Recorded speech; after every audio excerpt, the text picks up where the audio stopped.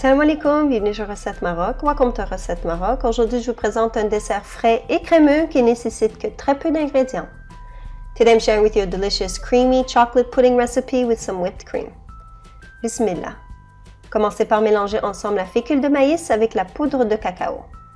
Let's start by mixing together the cornstarch with the cocoa powder. Incorporez la moitié de la quantité de lait et bien fouettez afin de retirer les grumeaux. Pour in half of the milk and whisk well in order to remove any lumps.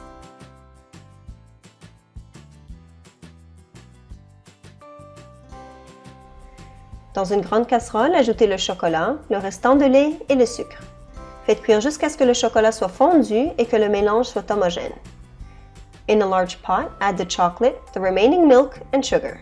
Cook until the chocolate has melted and that the mixture is well combined.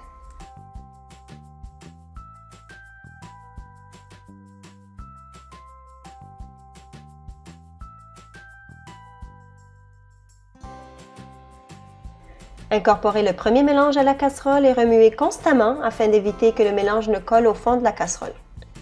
Add the first mixture to the pot and stir constantly for about 4 to 5 minutes in order to avoid it from sticking to the pot. Le mélange sera légèrement plus lourd qu'au début et à ce moment retirez du feu et versez dans des verres ou des petits bols. The mixture will thicken slightly. Remove from the heat and pour into glasses or small bowls. Il faudra être patient et laisser réfrigérer entre 1 à 2 heures afin de le laisser prendre.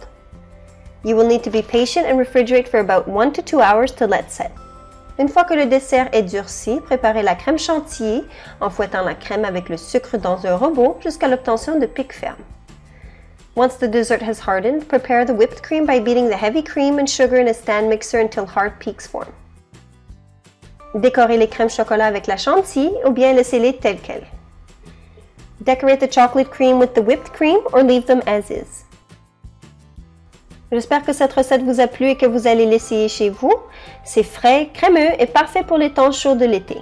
Je vous souhaite bon appétit et à très bientôt, Inch'Allah, avec une nouvelle recette. I hope you have liked this recipe and that you will try it out at home. It's fresh, creamy, and perfect for this time of year. Enjoy and see you soon, Inch'Allah, with another delicious recipe.